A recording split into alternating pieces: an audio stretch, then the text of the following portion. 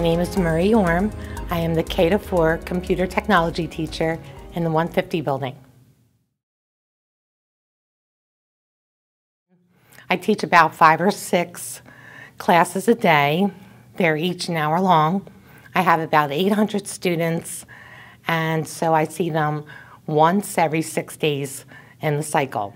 I teach them all kinds of fun things in computer technology. Right now, we're working on iMovies, and the students are learning how to save pictures, research topics, create an iMovie, add music and pictures to their iMovie, add sound effects, and how to save it. At the end of the day, I do bus dismissal, and I'm also on the staff support committee, and I um, attend meetings and I do the minutes for the meetings, and we do a wall of fame, and I uh, we pick a name out of the hat, and then I take um, the information from that person's name that we picked, and I create a bulletin board for that person with all their facts and information on the bulletin board.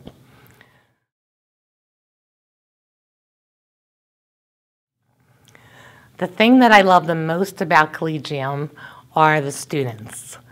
My students are so creative and funny, and they make me laugh every day.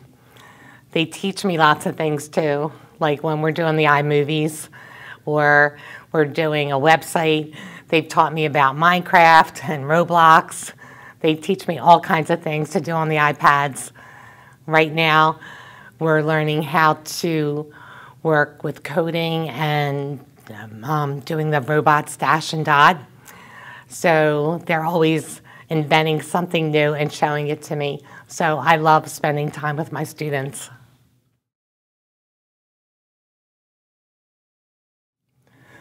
When I get home from work, I have some hobbies that I love to do.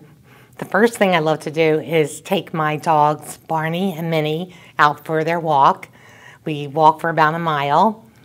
And then I come home and feed them and play with them. So they're a lot of fun. I also enjoy going to the movies with my daughter, Michaela. And I enjoy spending time with my family. I also love to knit and crochet and I guess my favorite hobby is to bake cookies and decorate them with designs. What I like, oh, sorry. I usually turn that off.